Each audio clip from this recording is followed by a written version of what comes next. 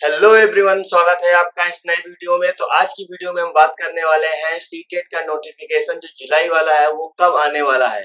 यानी कि इस पर अधिकारी ने क्या बात कही है, उसके ऊपर हम लोग डिस्कस करेंगे।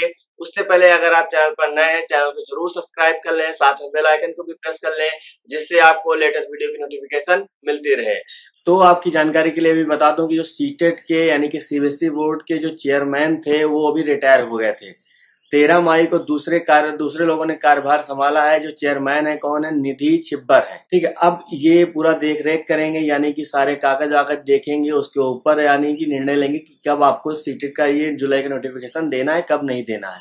ठीक, इसी वजह से ये डिले हो रहा है। बाकी कोई और रीजन नहीं है क्योंकि जब उनसे एक पत्रकार ने पूछा, तब उन्होंने यही बात कही कि, सर, अभी हम केवल एक महीने से ही हमने कार्यभार संभाला है, अब एक महीने के अंदर हम क्या कर सकते हैं? थोड़ा सा टाइम दीजिए, हम सारी चीज़ें आपके सामने रखेंगे, कब हम नोटिफिकेशन जारी कर रहे हैं, हम प्रेस रिलीज़ करेंगे।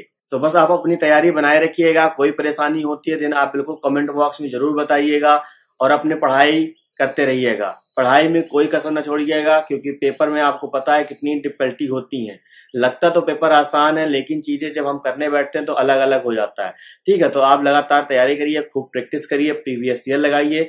जितना हो सके प्रीवियस ईयर पर काम करिए उसी सारी चीज़ें आपकी क्लियर हो जाएँगी। बाकी और कोई प्रॉब्लम होती है, देन आप बिल्कुल कॉन्टेक्ट करिएगा कमेंट बॉक्स में अपनी चीज़ें बताइए। हमें कमेंट ज़रूर रीड करता हूँ तो सारी चीज़ें बिल्कुल देखूँगा। तब तक के लिए धन्यवाद, मिलते हैं नेक्स्ट वीडियो में।